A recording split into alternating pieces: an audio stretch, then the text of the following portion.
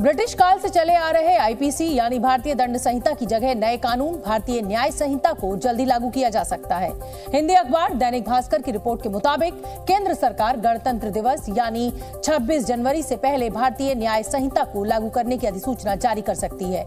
इस नए कानून के लागू होने के साथ ही देश की अलग अलग जेलों में बंद बयासी कैदियों की रिहाई की प्रक्रिया भी शुरू हो जाएगी।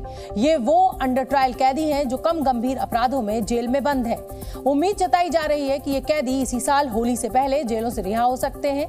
जिन कैदियों के पास जमानत देने के लिए पैसे नहीं होंगे, उनके लिए केंद्र और राज्य सरकार रकम का इंतज़ाम करेगी। आंकड़ों के मुताबिक देश की जेलों में साढ़े पाँच लाख से ज़्यादा कैदी हैं, जिनमें आधे से अधिक कैदी गैर संगीन अपराधों के आरोप में बंद हैं। और इनमें भी अंडर ट्रायल कैदियों की तादाद दो लाख के करीब है। बताया जा रहा है कि अंडर ट्रायल कैदियों की रिहाई से पहले जेल अधिकारियों, पुलिसकर्मियों और वकीलों को ज़रूरी ट्रेनिंग भी दी जाएगी। लोकसभा चुनाव के करीब आने के साथ ही सियासी माहौल भी गर्म होता जा रहा है। चर्चा है कि बीजेपी को सत्ता से हटाने के लिए बने इंडिया गठबंधन में बिहार के मुख्यमंत्री नीतीश कुमार को संयोजक बनाया जा सकता है।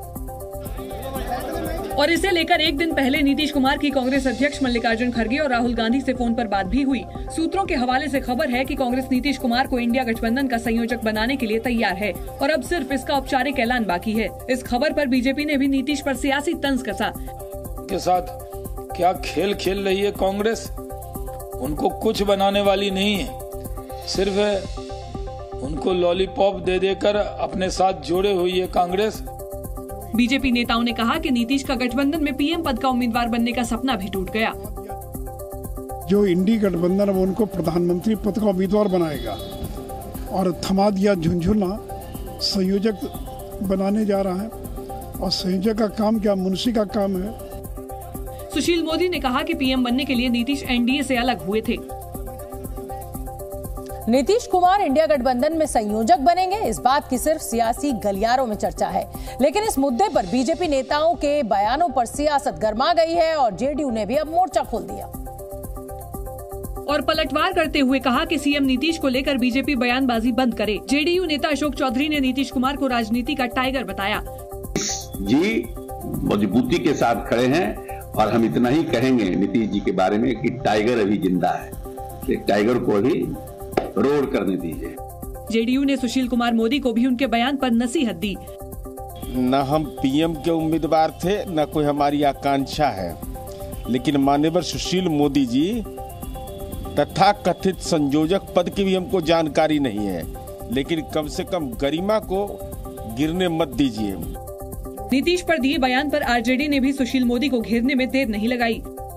तो आदरणीय नीतीश कुमार जी क्या बनेंगे क्या नहीं बनेंगे इसकी चिंता छोड़ दें सुशील मोदी जी। वो क्या बनेंगे उनको क्या बीजेपी बनाएगी इसकी चिंता करें। मृत्युंजय तिवारी ने कहा कि बीजेपी नेता अपने बारे में सोचें नीतीश के बारे में नहीं।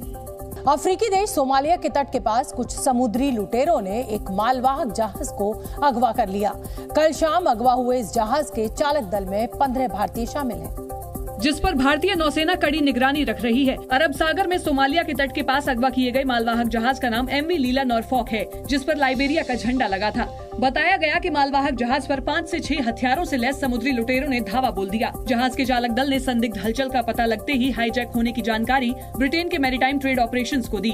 जानकारी मिलते ही भारतीय नौसेना ने कार्रवाई शुरू की और एक गश्ती विमान लॉन्च किया, जिसने मालवाहक जहाज़ के ऊपर उड़ान भरी। साथ ही भारतीय नौसेना ने युद्धपोत आईएनएस चेन्नई को अगवा किए गए एम वी लीला नॉरफॉक की तरफ़ रवाना किया, जो अब जहाज़ तक पहुँच गया है। जहाज़ के चालक दल में पंद्रह भारतीय भी शामिल हैं, जो भारतीय नौसेना के संपर्क में हैं। इसराइल हमास जंग के बाद से दुनिया के अहम व्यापारिक समुद्री मार्गों पर खतरा मंडरा रहा है। खासकर लाल सागर और अरब सागर में मालवाहक जहाजों पर हमले बढ़े हैं। चार जनवरी, यानी कल, सोमालिया के तट के पास एमवी लीला नॉर्फॉक नाम के मालवाहक जहाज़ को अगवा कर लिया गया, जिसे छुड़ाने की कोशिशें जारी हैं। इससे पहले दिसंबर 2023 में माल्टा का जहाज़ एम बी रुएन हाईजैक हुआ था, जो कोरिया से तुर्की जा रहा था। वहीं नवंबर 2023 में तुर्की से भारत आ रहे गैलेक्सी लीडर नाम के जहाज़ को हूती विद्रोहियों ने हाईजैक कर लिया था। समुद्री मार्गों में जहाजों पर बढ़ते हमलों से निपटने के लिए भारतीय नौसेना ने रणनीति बनाई और भारत ने गाइडेड डिस्ट्रॉयर मिसाइल से लैस पाँच युद्धपोत लाल सागर और अरब सागर में तैनात किए हैं। पाँच युद्धपोतों में पहला है INS Kolkata INS Kochi INS Mormugao INS Visakhapatnam और आईएनएस चेन्नई। आईएनएस चेन्नई को पूर्वी अरब सागर में तैनात किया गया है, जिसका काम भारत आने वाले मालवाहक जहाजों के लिए सेफ़ रास्ता बनाना है।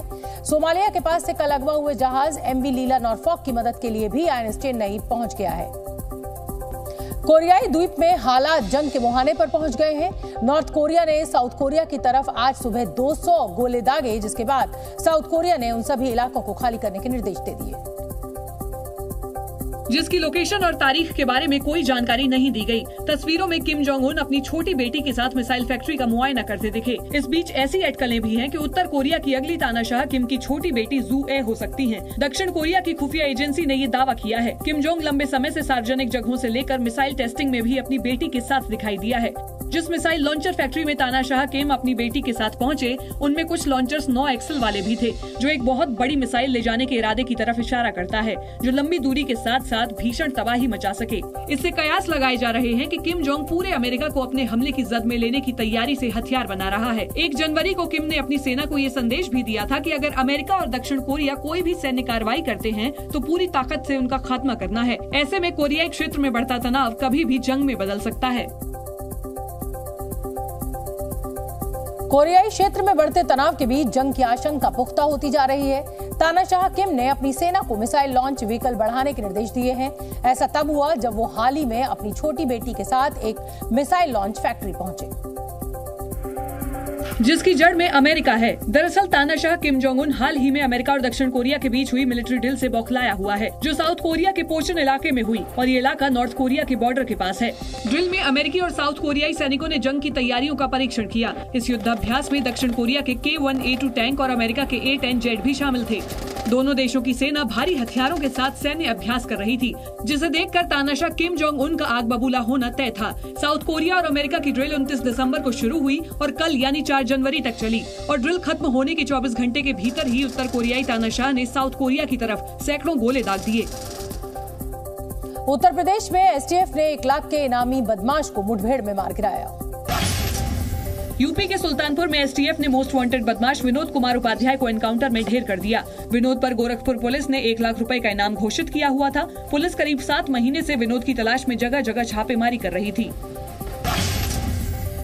यूपी में हलाल प्रोडक्ट्स पर बैन के मामले में सुप्रीम कोर्ट ने यूपी सरकार को नोटिस जारी किया है। यूपी में सरकार ने हलाल सर्टिफिकेट वाले उत्पादों की बिक्री पर रोक लगा दी थी, जिसके खिलाफ हलाल इंडिया प्राइवेट लिमिटेड नाम की एक कंपनी ने सुप्रीम कोर्ट में याचिका दायर की थी।